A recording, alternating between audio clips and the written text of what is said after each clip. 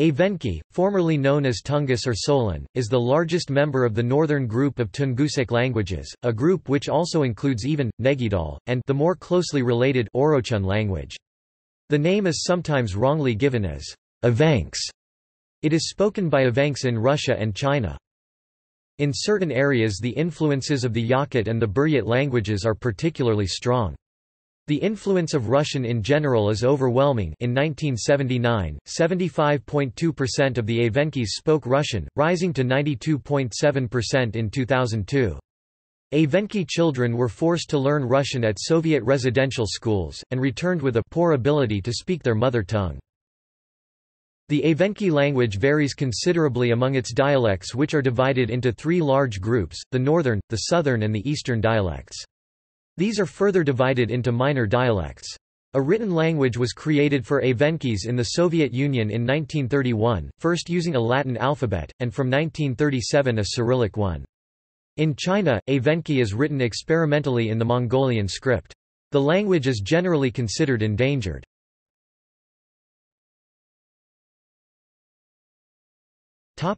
Genetic affiliation Evenki is a member of the Tungusic family. Its similarity to Manchu, the best documented member of the family, was noted hundreds of years ago, first by botanist P. S. Pallas in the late 18th century, and then in a more formal linguistic study by M. A. Castrén in the mid-19th century, regarded as a pioneer treatise in the field of Tungusology.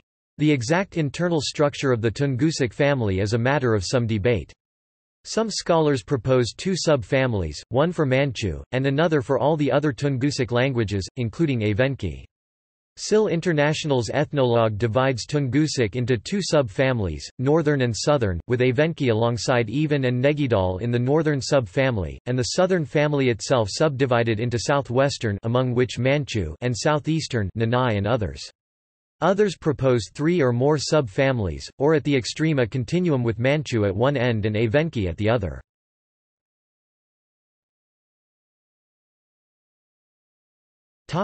Dialects Bulatova enumerated 14 dialects and 50 sub-dialects within Russia, spread over a wide geographical area ranging from the Yenisei River to Sakhalin. These may be divided into three major groups primarily on the basis of phonology. Northern Spirant Ilimpeya, Ilimpeya, Agata and Bolshoi, Porog, Tura, Tutonchany, Dudinka, Khantai Yerbogachen, Yerbogachen, Nakano Southern Sibilant Hushing Sym, Tokma or Upper Nepa, Upper Lena or Kachug, Angara Northern Baikal, Northern Baikal, Upper Lena Hissing Stony Tunguska, Vanavara, Kuyumba, Poligus, Surinda, Taimura or Chirinda, Uchami, Kemdalzik Nepa, Nepa, Kirensk Vitim Nercha, Baunt Talocha, Baunt, Talocha, Tungukochan, Nercha Eastern Sibilant Spirant. Vitim Olyokma dialect, Barguzin, Vitim, Kalar, Olyokma, Tungir, Tokko Upper Aldan, Aldan, Upper Amur, Amga, Dzheltulak, Timpton, Tommot, Khingan, Chulman, Chulman Gilyui Uchur Zeya, Uchur, Zeya Selemdzha Bureya Urmi, Selemdzha, Bureya, Urmi Ayan Mai, Ayan, Aim, Mai, Nelikan, Totti Tugor Chumikan, Tugor, Chumikan Sakhalin no subdialects Evenks in China also speak several dialects. According to ethnologue, the Hahu or Hoid dialect is considered the standard. Hilar, Auluguya, Olgaya, Chenbeiru, Old Bargu, and Morigal dialects also exist. Ethnologue reports these dialects differ significantly from those in Russia. Some works focused on individual Russia dialects include Gortsevskaya 1936 Barguzin, Andreeva 1988 Tommot, and Bulatova 1999 Sakhalin.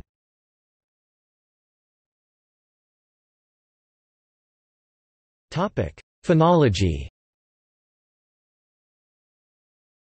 The Evenki language typically has CV syllables but other structures are possible.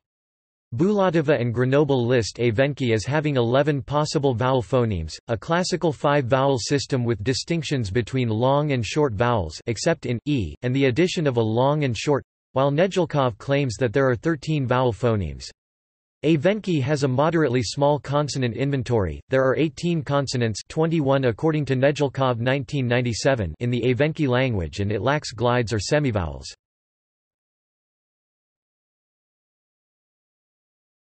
Topic: Consonants. Below are tables of Evenki consonant phonemes, including those identified by Nedjalkov 1997 in italics. The phoneme, beta, has a word final allophone, f, as well as an intervocalic variant, w. Likewise, some speakers pronounce intervocalic, s, as h. Speakers of some dialects also alternate, b, and, beta. Consonant inventories given by researchers working on dialects in China are largely similar. The differences noted, Chao-Ke and Kessing et al., give, h, instead of, x, and lack, beta, or, Furthermore, Kessing et al. give d instead of d.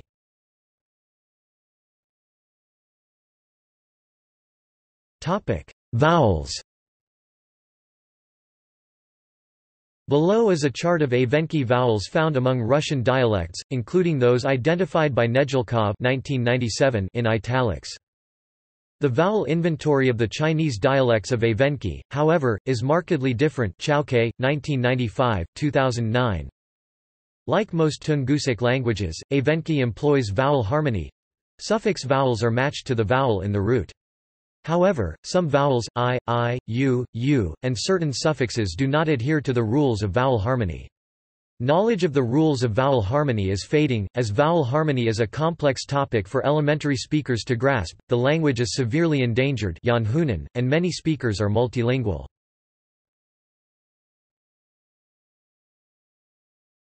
Topic: Syllable structure.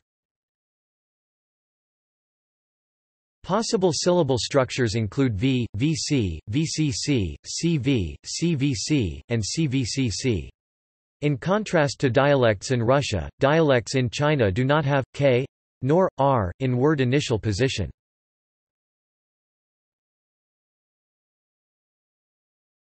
Topic: Alphabets.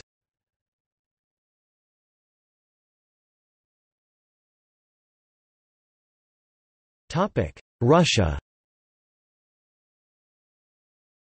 The creation of the Evenki alphabet began in the 1920s.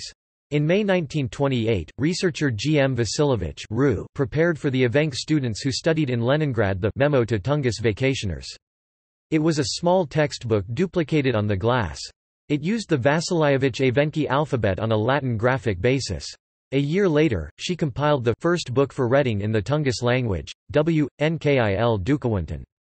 This alphabet had the following composition: A B flat H H D D E G G H H E K K L L M N N U P P R R S S T T U U W W Y Y. It also included the diacritical marks, a macron to indicate the longitude of the sound, and a sub-letter comma to indicate palatalization.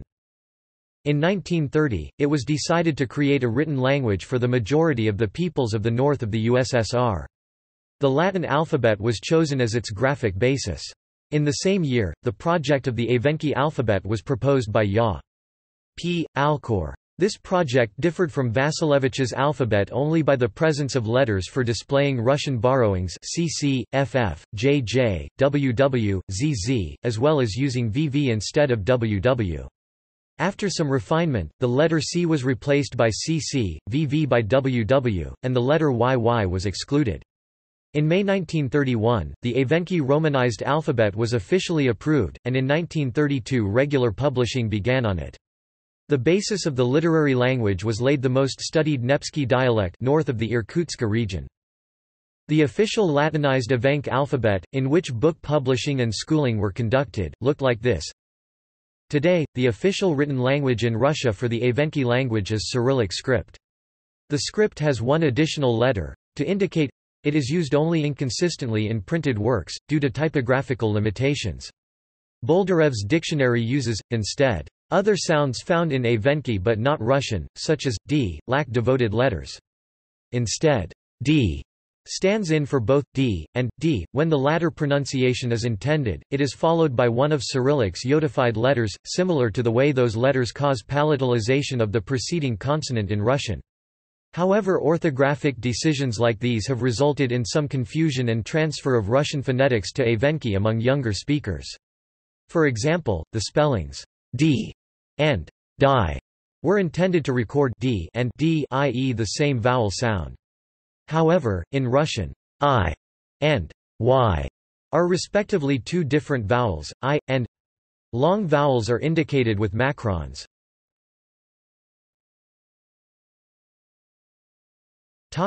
China In the Imperial History of the National Languages of Liao, Jin, and Yuan Chinese, Qinding Liao Jin Yuan San Shi Guo Yu Jia Pinyin, Qinding Liao Jin Yuan San Shi Guo Yu Jia commissioned by the Qianlong Emperor, the Manchu alphabet is used to write Evenki words. Evenki in China is now written in the Latin script and experimentally in the Mongolian script. Evenki scholars made an attempt in the 1980s to create standard written forms for their language, using both Mongolian script and a pinyin-like Latin spelling. They published an Evenki Mongolian Chinese dictionary Kessing et al., 1983 with Evenki words spelled in IPA, a pinyin-like orthography, and Mongolian script, as well as a collection of folk songs in IPA and Mongolian script and Chinese-style numbered musical notation. The orthographic system developed by Chinese Evenki scholars reflects differences between Evenki and Mongol phonology. It uses both, and, usually romanized from Mongolian as q and, for per gram. The system uses double letters in both Mongolian and Latin to represent most long vowels, however for ow is written instead of u. The same scholar's collection of songs has some orthographic differences from the table below, namely, long vowels are occasionally written not just doubled but also with an intervening silent—showing clear orthographic influence from the Mongolian language. In medial and final positions, t is written in the Manchu script form. Evenki Itself is spelled Iweki, despite Mongolian orthography usually prohibiting the letter combination k. The vowel inventory of this system is also rather different from that of Chao-Ke 1995, 2009. Du 2007 uses a different version of Latin script, which distinguishes certain vowels and consonants more clearly than the system of Kessing et al.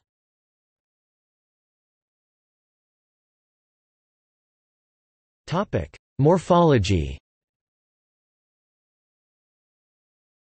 Evenki is highly agglutinating, suffixing, and not flexive, each morpheme is easily recognizable and carries only one piece of meaning. Evenki pronouns distinguish between singular and plural as well as inclusive and exclusive in the first person. The Evenki language has a rich case system—13 cases, though there is some variation among dialects—and it is a nominative accusative language. Evenki differentiates between alienable and inalienable possession. Alienable possession marks the possessor in the nominative case and the possessum in the possessed case, while inalienable possession is marked by personal indices. Below is a table of cases and suffixes in Evenki, following Nedjalkov 1997. Plurals are marked with il, l, or r before the case marker, if any. Tigelve cup place acd. The cups accusative IVULNGI Oro R in IVUL Gen Reindeer PL 3 SG POS, the reindeer place of IVUL.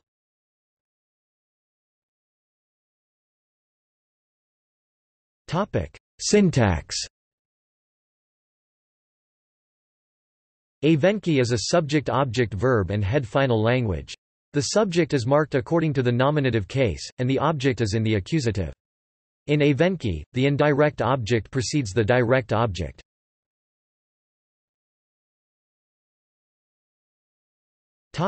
Literary traditions The Manchu script was used to write Evenki words in the Imperial History of the National Languages of Liao, Jin, and Yuan. The Evenki did not have their own writing system until the introduction of the Latin script in 1931 and the subsequent change to Cyrillic in 1936–7.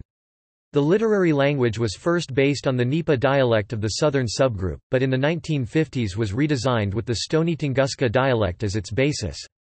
Ethnographer S. M. Shirokogorov harshly criticized the childlike literary language, and in a 1930s monograph predicted it would quickly go extinct. Although textbooks through the eighth grade have been published. Literary Evenki has not yet achieved the status of a norm which cut across dialects and is understood by speakers of some dialects with great difficulty.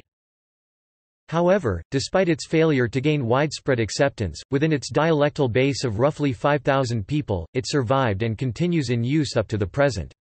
Since the 1930s, folklore, novels, poetry, numerous translations from Russian and other languages, textbooks, and dictionaries have all been written in Evenki.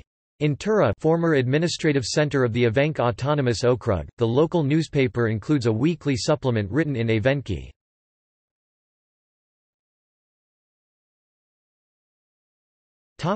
Language shift and multilingualism. There is a large quantity of Russian loan words in Evenki, especially for technologies and concepts that were introduced by the Russian pioneers in Siberia. Evenki is spoken in regions with heavy multilingualism. In their daily life the people come into contact with Russian, Buryat and Yakut, and each of these languages had affected the Evenki language. Russian is the lingua franca of the region, part of the Evenki population is bilingual, and part trilingual. All Evenki know Russian relatively well. In 1998 there were approximately 30,000 ethnic Evenkis living in Russia and about one-third of them spoke the language. Even a decade ago Bulatova was trying to warn speakers and linguists alike, "...there is widespread loss of Evenki and the language can be considered seriously endangered."